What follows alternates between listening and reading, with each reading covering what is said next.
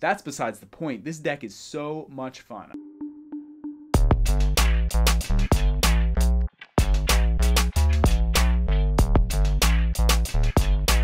Yosha! What is up, Joe Crew? It is me, Johku DMD, and today I got a deck profile on Kozuki Oden. This is my custom Kozuki Oden leader that I made. You can check him out on my shorts. I have a bunch of custom cards that I made on my YouTube shorts, but that's besides the point. This deck is so much fun. I honestly think this is actually my favorite deck to play right now in OP01, and I gotta give a big shout out to Moonmen TCG. If you guys don't know Maximilian Fay with the Moonmen, you should definitely go subscribe, check him out. He's got great One Piece card game content, and he hooked me up with this deck profile that I modified a little bit to make it more my style and put some of the cards that I really like in it, but the backbone of this thing is his idea, so I gotta give him props on that.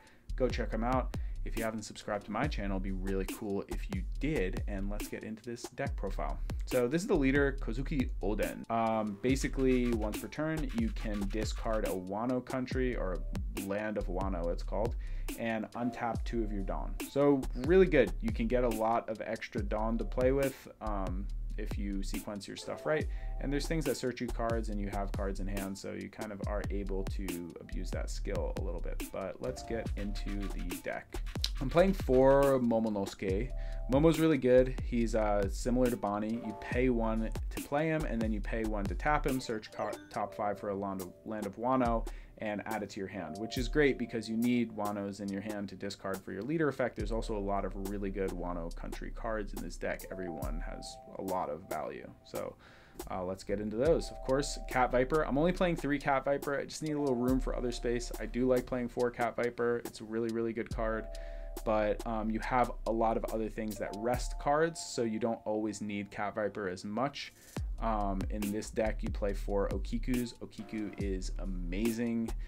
Best card in OP01. Her and Robin, I think they're the best. There's just so much value in these cards. Dawn X1, when you swing with her, she rests one of your character, your opponent's character cards five cost or less. So you can rest big blockers, you can rest little blockers, you can rest character cards they just played. You can just deal with their board really, really effectively. And she also plays for free off Kinemon, which we'll get to. Um, and she stands up off Kinemon. But uh, it's once per turn to rest the cards to make sure if you are swinging with her twice in a turn, which is possible in this deck, that you're not resting two cards. You can only rest one card. Don't cheat. It's not cool. Play by the rules. And then we got four Izo. Izo, I'm playing four of. It's a 2k counter. And if you need to play him to rest one of your opponent's character cards, you can because he rests a four cost on, on play, which is really good. But the 2k counter is usually what you're using him for. Um, he's not really much of a swinging threat, so it doesn't really matter for him to be on board. And you have uh, Okiku to rest bigger cards anyway. And then I'm playing for Raizo. Raizo is amazing. This dude just draws you for no reason. For no reason, he just draws a card. If you have a character card in rest mode, when this dude swings, he counts himself, and then you have two character cards in rest mode, and then you get to draw a card. So you can play Momo, search with Momo, and then swing with Raizo, and Momo's in rest from being in rest, and then Raizo just gets to draw you cards. So really, really, really, really good card. I love this dude. He's amazing, and he has counter power. Um, and he doesn't need the Dawn on him to do that skill, so he just draws for no reason. And then we got the MVP of the deck. MVP of the deck is Kinemon. Kinemon is so dang good. This guy's crazy. I really, really doubted him until I played with him. And then I was like, holy crap, this dude is nuts. Uh, on play, he plays a three cost. So basically, you're getting nine Dawn value out of six as soon as you play him, because you're playing a six cost, 6k, and a three k, uh, three cost, which is usually going to be Okiku. You can also play Raizo. You can also play Inuarashi, but I don't really, not totally on board with Inuarashi yet. But basically, you set this dude up, and then once you set him up, when he swings, if he has a Dawn on him, he stands up a nine Scabbards, cost three or less, which is wild, or Akazaya 9 is what they're calling it. So if you play him and then play Okiku, and then the next turn you put three Dawn on Okiku and you swing for eight, and then you put one Dawn or two Dawn on uh, Kinemon, then you swing for eight, then he stands Okiku up, and then you swing for eight again. That's three 8k swings, right? If they have a Eustass kid on board, they have one of those big kids on board, and they're like, oh, it's gonna be fine, right? No, it's not you because you have these two on board, right? You swing with Okiku, you rest their killer, you swing at eight, right? And then they have to defend the eight. And then you swing with Kinemon and you swing for eight, and then they have to defend the eight. And then you swing with your Okiku again, and you're swinging for eight, right? And then you can play something, and then you can discard, untap with your leader, and then you put a bunch of Dawn on your leader, and then you swing for what? You have put uh, three on Okiku and two, so that's five. Then you can swing for 10. So that's four threats onto that kid. That kid is not hanging out. You're definitely removing it with this combination. Kinemon is so good. Oh my god though.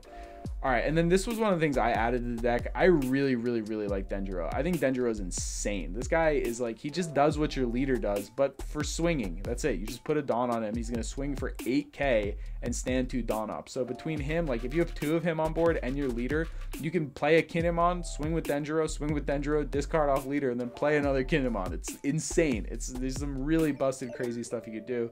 But he doesn't have counter power, and he is a 5 cost, so I feel like three is fine. He's searchable off Momo, and if you're not going to play him, you can always discard him off your leader effect. And then just the basic stuff. You maybe have seen this in the kid deck. It's just like basic supernova stuff. Bonney, pay one, search top five for a supernova. She's really good to search. Bege is your one cost blocker, pay one, and then you have a blocker. He's a good guy, he takes care of his family. Scratchmen, he's just a 2k counter, just good for defense. You rarely ever play him for his skill. Killer, only playing three, but defends your big cards if you need to and draws your card if you have a board built. And Killer's really good in this deck because you often build a board. I'm playing one. This is probably dumb. I should probably just play four of the killer blockers. But like, if you see this off the life and you know you just have one, like, you feel like a god and it's fun. And you just remove something. Card's good. It's good removal. Um, but I like swinging into stuff in this deck. So Drake is also really good on play. Removes a four cost, and then you have a 6k body. And then two Doom Chambers uh, Law. He's really good. Really, really good card. You want to get your Kiku out of rest mode, you play Law, bounce Okiku to your hand, play Okiku again. You want to get your Izo counter power back, you play Law, get your Izo counter power back, and then play Okiku to set up for the next turn. It's just so many shenanigans you can do with this man. Um, so he's really, really worth playing. And then I'm playing two Paradise Waterfall because if you block with Law and then you Paradise Waterfall, that's an 8k block and you can stand him up for another 6k block. So you're just kind of it's a, annoying shenanigans. And if they swing at Okiku for like six, you can just Paradise Waterfall your Okiku up. Or if they swing at Kinemon, you can Paradise Waterfall him up. Just like things you don't want them to swing at, you can just pay one and stand it up and give it 2k. It's very, very strong card. I might play more. And if you trigger it, you can KO a 4 uh, four cost in rest mode, which is really good. And then two of the big kid, you just if you see green like this, just or I'm sorry, if you see go against blue, this card basically just wins the blue matchup. Blue has to really set up to deal with kid. You have to know they know have to know how to deal with it, and they have to be preparing to deal with it. Other colors can deal with it on the point. You know, they just pivot and they may have the cards that are able to manage this guy. But blue is like you have to set up turns before to prepare to deal with this guy. So he just wins that matchup. There's no reason to not have him in the deck. Uh, I'm not a huge, huge fan of him. I actually like the seven cost blocker more, but I think there's enough cards in the deck outside of the seven cost blocker that can do enough of what you need that card to do, basically, in other forms of different cards. So I play this really just for the blue matchup and I have a shiny card in my hand. It's fun. Anyway, that's the deck. I hope you guys enjoyed this deck profile. Um, I am a dentist. I can't end without doing a dental tooth tip, and they are banging on my house again. But my dental tooth tip would be, oh man.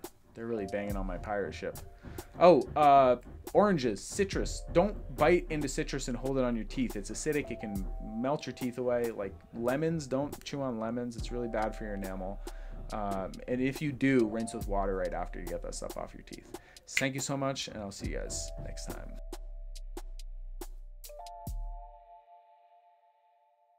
Thank you! Gozaimasu! Arigato so much, my friends! Kazoku! Ashter Yao!